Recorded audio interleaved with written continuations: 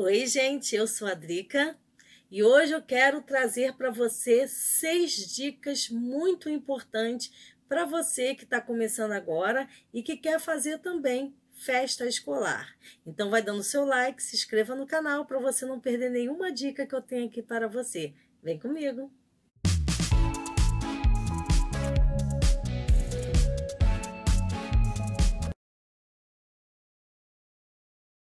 Primeira dica: como eu divulgo a minha decoração escolar?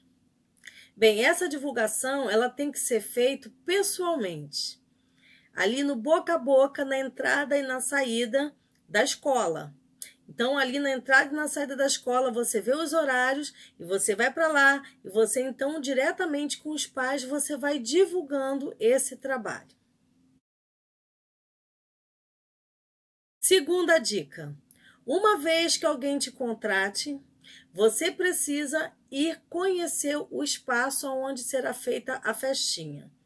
Por que, que isso é importante? Porque você vai ver o espaço que tem e vai ver se tem alguma mesa disponível para que você possa estar usando.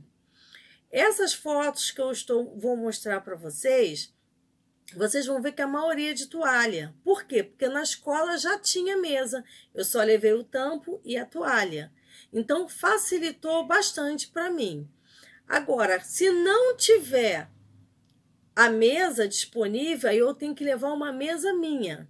Como já aconteceu, tem duas aí que tá com uma mesa provençal. Então, é importante visitar o espaço.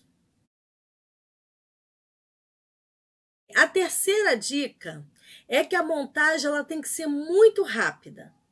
Então você não pode levar nada complicado, mesas que precisa estar tá parafusando, assim, tudo tem que ser rápido, de encaixe, ou mesa cilindro, ou então você aproveitando a mesa que já está lá, você leva a toalha para colocar em cima. Quanto mais rápido você montar, melhor. Porque as festas geralmente elas duram de 30 a 45 minutos, que é feito no horário do recreio da criança. Então não pode ser nada complicado.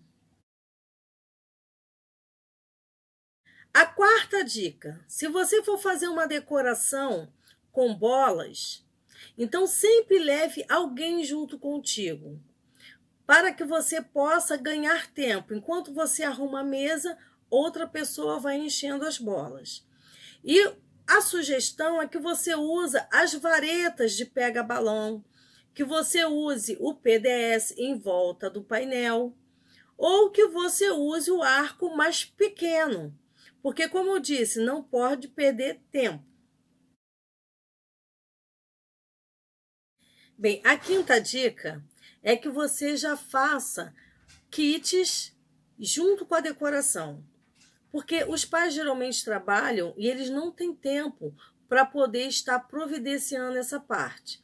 Então, se você já levar um kit, seja encomendado com outra pessoa ou você mesmo produza, você vai facilitar muito a vida dos pais. E isso vai ajudar a sua divulgação na escola, porque um pai vai passando para o outro e eles adoram chegar e ver tudo pronto. Agora, o que, que vem num kit? O kit, ele costuma vir uma torta. Se você vai encomendar a torta, você já pede com papel arroz no tema. Então, vem a torta, vem o salgadinho, vem os docinhos, refrigerante e descartáveis. Esse kit você pode encomendar pronto, tá? Pega aí na internet, veja, encomenda um para você ver como é que é, próximo à sua casa, da onde você vai trabalhar, e aí você vai ver como funciona. E aí você tem que agregar esse kit, são as os saquinhos de guloseimas, as sacolinhas de guloseimas. Você precisa agregar. Pronto, já tem uma festinha completa. Isso aí vai te ajudar muito para que você possa fazer um bom trabalho para o seu cliente e também que ele divulgue o seu trabalho entre os pais. Agora, a sexta e última dica é que todas as fotos e decorações que você fizer com capricho, mesmo sendo festa escolar, vai servir para você fazer festa em casa. Você já vai ter pronto é, as fotos para a sua divulgação de festa em casa. Então, toda vez que for fazer uma coisa, mesmo que seja pequena, faça com carinho, com capricho, que você vai do pequeno começar a fazer também o grande. Então, espero que você tenha gostado dessas dicas e até o próximo vídeo. Boa sorte!